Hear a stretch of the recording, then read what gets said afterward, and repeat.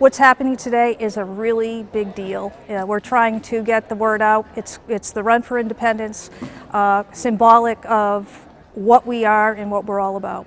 Uh, we're all about ability and celebrating that ability and uh, in, a, in, in this inclusive environment. We're having our second annual run. Um, it's an awareness run, uh, fundraiser. Hopefully in the future it'll be our signature event.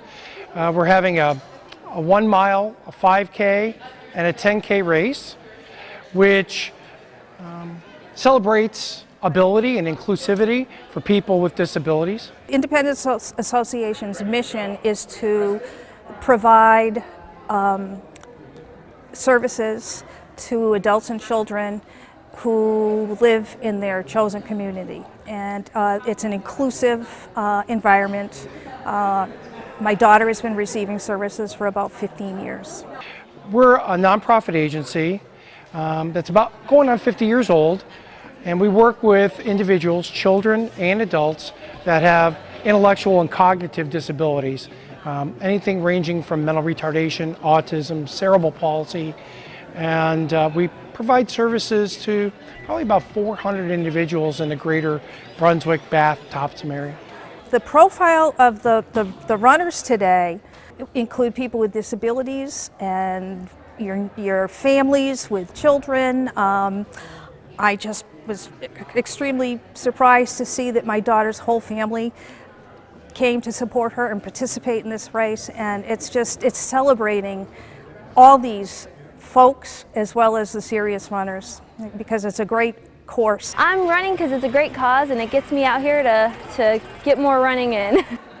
we have a myriad of people running in the race from people that are serious runners to people that like to walk and the race includes people with disabilities, without disabilities, and the race is set up so that the times that are starting are split times so that people with disabilities can actually start and finish with people that have abilities so it feels more like an inclusive event. To put together this race was a huge undertaking. We, we hired a, a, a new person to, uh, to be the race director, marketing person, uh, and to work with the, the Family Advisory Council as well as um, a whole bunch of volunteers. It takes a lot of support to do an event like this.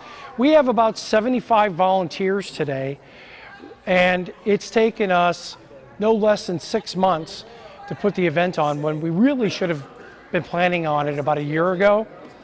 Um, and Brunswick is very good in that regard. They, they have always supported us.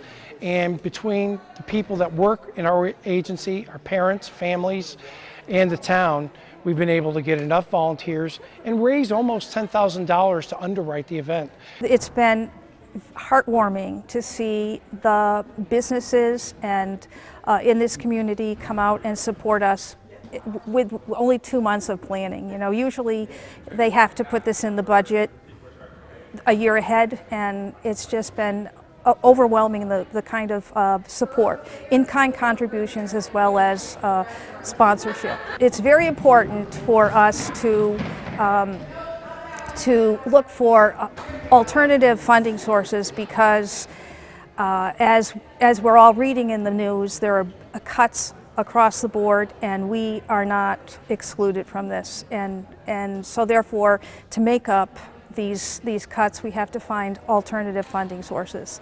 And this race is just one of those uh, attempts at, at finding more revenue. We're a Medicaid funded facility, meaning we can't raise or lower the prices.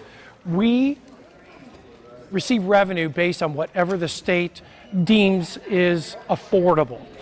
Um, just to give you an idea, in July, of 2006, we were paid approximately $25 an hour to do services. In July of 2013, those same services were being uh, reimbursed at $21 an hour. And that's not including or adjusting for inflation, that's real, real dollars. Our agency is really, really big on, we focus on inclusivity and I personally believe that there's nobody that is fully abled that we're all interdependent upon each other, and that when we have a race like this, it shows that the community comes together to support people with disabilities, people without disabilities, and that we can come together as a community. That's the number one mission of this race.